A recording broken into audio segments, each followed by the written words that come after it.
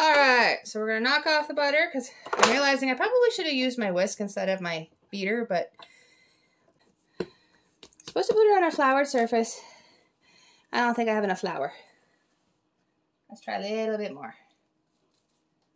We're gonna, we're gonna be two hearts running wild. And this is our Canadian family life. Okay, so we're going to make a simple three ingredient butter cookie. So the original recipe calls for one cup of softened butter, half a cup of powdered sugar, and two cups of flour. But we're gonna double the recipe. So I've got my stick of butter here, you guys can see, and I have softened it. So this is technically two cups of butter or just a little over two cups of butter. It's not that bad. And if you guys can see a shadow, that's Bella. She's here helping, sort of. Being funny is more like what she's doing. but, okay, so we're gonna open our sticker butter, and it's peeling, and it's falling apart, and having a fun time of it. Okay, hang on. Ah! You. Okay, so there's our sticker butter. In we go. Okay, Bells. Yeah. Can you put this in the garbage, please? Alright, so as you see, sticker butter's in there. So I've got my half cup measure. So we are going to now add the powder sugar. Oh wait, no. We're supposed to whip the butter first, so let's whip the butter first. I'm reading the recipe as I go here, because... Yeah, okay, so... So, we'll be back with you guys when we're done whipping the butter. Alright, so we're gonna knock off the butter because I'm realizing I probably should have used my whisk instead of my beater, but hoping that maybe when we add the powdered sugar it will get a little fluffier. So, hey, this is our first time doing this. We've never done it before, so we're gonna try, right? That's all we can do is try. You're struggling to get the butter off. I am. Hold that, please.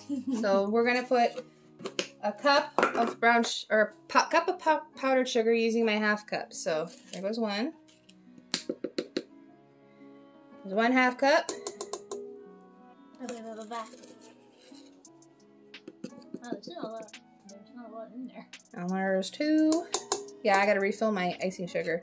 And we're just gonna add a little bit for good measure just in case I didn't quite fully have that right.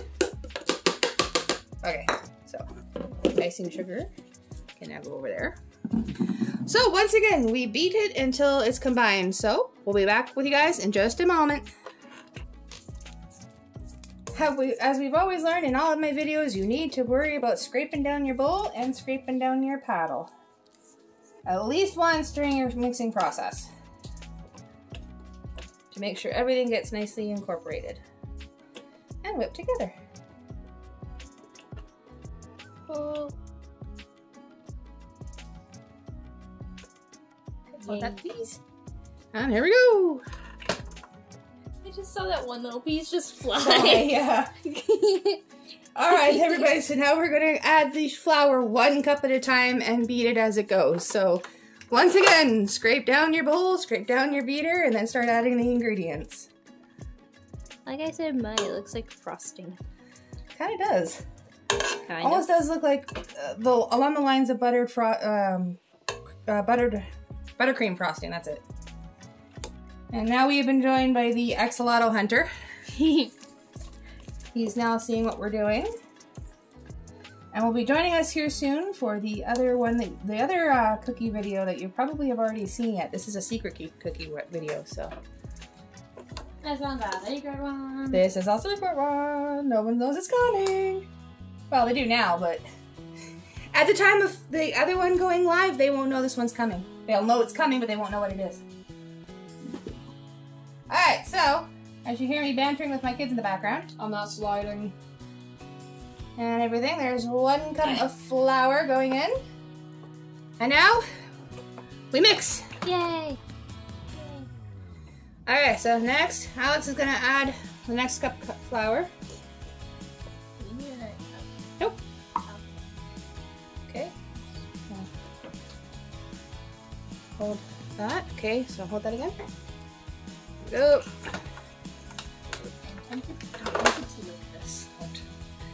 Okay, another scrape down.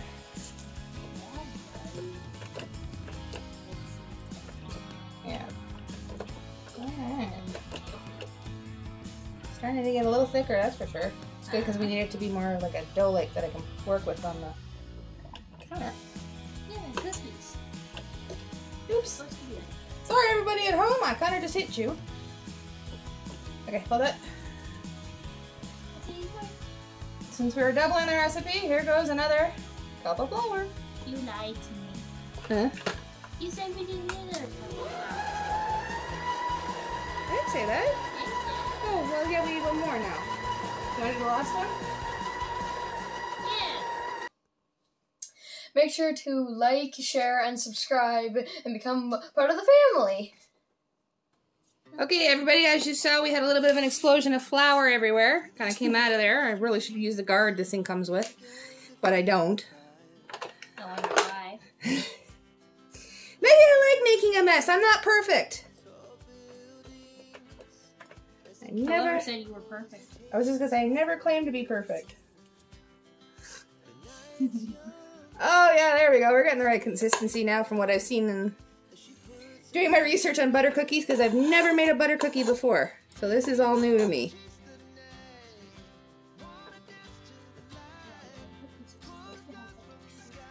Well, this is just well because it has to have like a dough-like consistency because we're supposed to roll it into a log here in a little bit.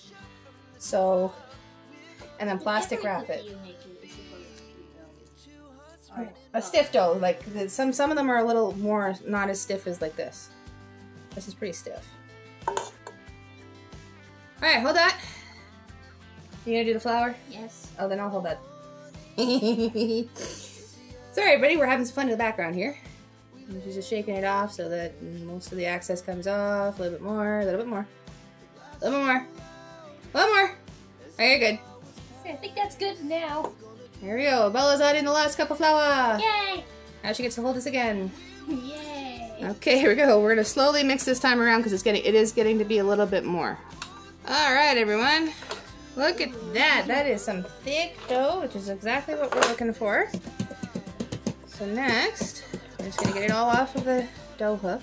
The dough hook out. Aptly named because it makes dough. Ha ha ha.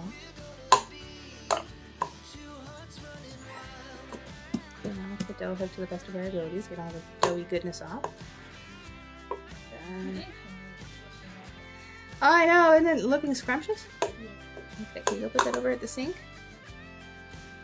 Go ahead and if you want to, you can lick the beaters. There's no eggs. Hmm. Actually, guys, the batter does taste pretty good. Okay, so we're gonna remove it off of the mixing stand now. Well, I like that. Move our mixing stand that way. Just out of our way. So I'm just gonna fold it in to make a ball, and then I will be back with you guys when it's time to put flour on the surface here and such. So just give me a second. Okay, so I've floured up my hands so that I can get the dough out, all out of the, the bowl, all of the rest of it, as much as I can get out. You want to make a big dough ball, apparently. All right, so I'm gonna ask my little helper in the background. You guys can't see her, but she's uh, currently busy doing something. There we go. She's gonna take that from me. So there's the dough, everybody. It's nice and good and all that sort of stuff. So now we're just gonna kind of supposed to put it on our floured surface. I don't think I have enough flour. Let's try a little bit more. Okay. There we go. So you're just kind of supposed to put it on here and then roll it until it's a cylindrical. So that's what we're gonna do.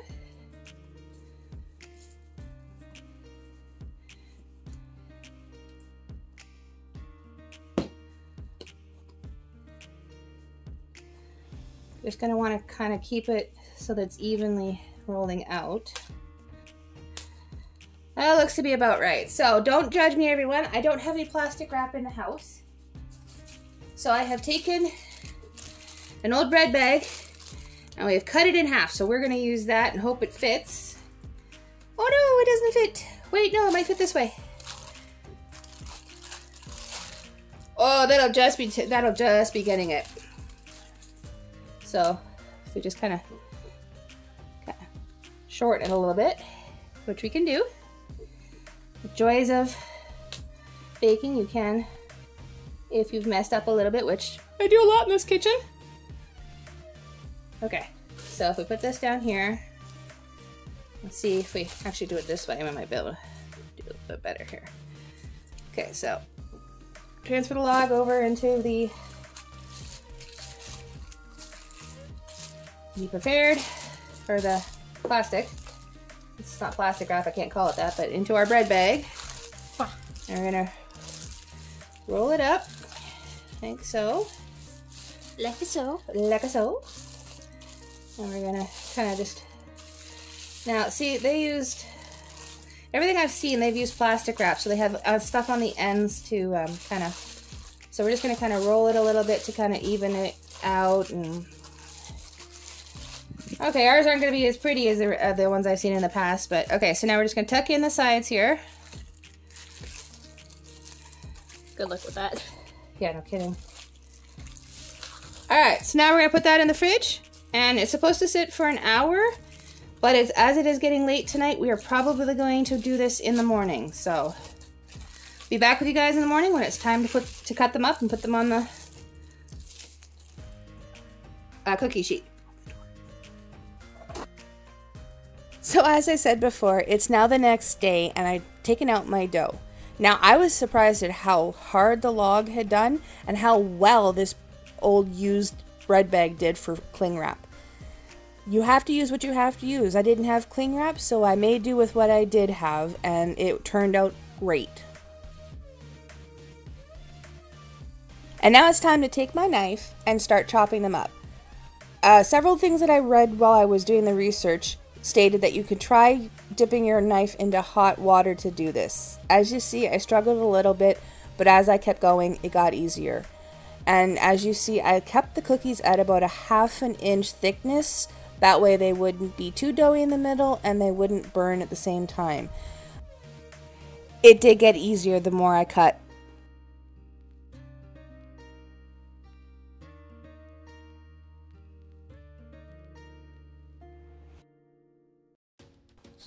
Now that that's all done, as you can see, I was able to keep up the about half an inch consistency with each cookie. So now it is time to put them on the tray so we can get them in the oven. Alright, so now I have them all laid out on the cookie sheet. Knowing that they might melt, I did try to put a little bit more space in between them. I have preheated my oven at this point in time to 350 degrees Fahrenheit and I will bake these for about 12 to 15 minutes. So I'll be back with you guys in just one moment. Don't forget to like, share, and subscribe, and join the family. Ta-da! There you have it, everyone. There are the cookies. Aren't they scrumptious looking? They are a nice golden brown. They held their shape. And man, I'm glad I kept it at the half inch consistency. This is the difference of baking with margarine versus baking with butter. I didn't know the difference until today, so that's awesome. What do you bake with? Do you prefer baking with margarine or butter? Leave a comment down below. But man, I am so glad that I tried this recipe. So, what did you think about the cookies? Didn't they look great? And I can't believe it took me that long to figure out it wasn't a butter cookie at all that I was making. It was actually a shortbread. Go figure. You live and learn. But since I did promise a butter cookie recipe, I will look for one so that I can do it for you guys down the road. But they were great. They were yummy. And I don't know what I could have done differently, but I don't think I could have. They were perfect. They didn't melt when I baked them. It was just, they were so yummy. And for once, they were not dry. Usually when I make a shortbread cookie, it gets a little dry. So I was happy to see that these ones didn't get dry. And the family loved them, which is amazing. So I hope you all did too, and that you try the recipe. And if you do, let me know how it turns out in the comments down below. But I hope you all enjoyed this video. If you did, think about giving us a thumbs up. It really would help. It helps us get out to the algorithm and reach a few more people and all that fun stuff. And don't forget to hit that notification bell. You don't want to miss out on any future videos from us. We have lots of fun things coming up because we're coming into the holidays, so there's going to be Halloween, Thanksgiving, more cook-offs between our family members, and of course, Vlogmas. Who wants to miss that? Also, if you're new here and you like what you see, hit that subscribe button and come join the family.